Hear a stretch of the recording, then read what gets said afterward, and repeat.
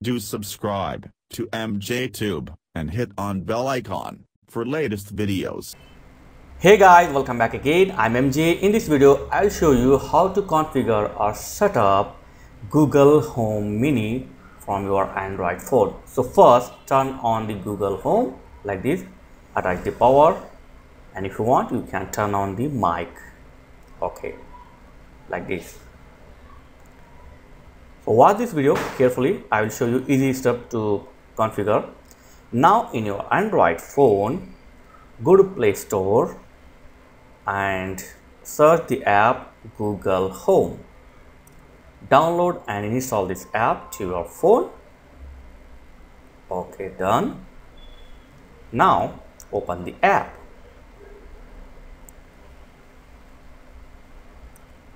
Tap on get started.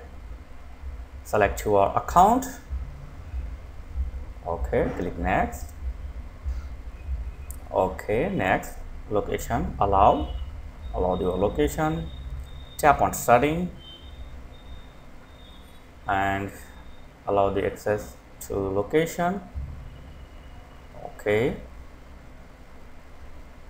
So it will find your device. If you want you can watch this tutorial. I will skip now okay now tap on setup device. And then tap on setup new device. Okay. And from here you can choose the location from a uh, lot of this given here like a bedroom office dining room you can choose anyone. And then continue. And then tap on next. Agree okay. So here uh, my voice is already given. So if you have not given your voice so it will detect your voice here. Just you need to say hey google okay google all this thing and once again tap on agree. And confirm access or i'm going to skip this. And yeah not now. I will take not now these all services. I will activate later. Netflix not now. So you can configure all this thing later okay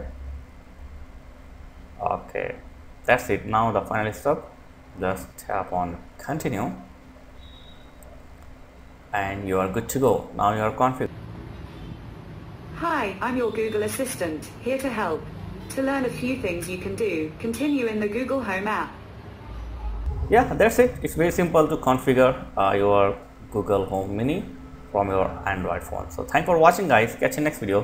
Please like, share and subscribe. Thank you very much.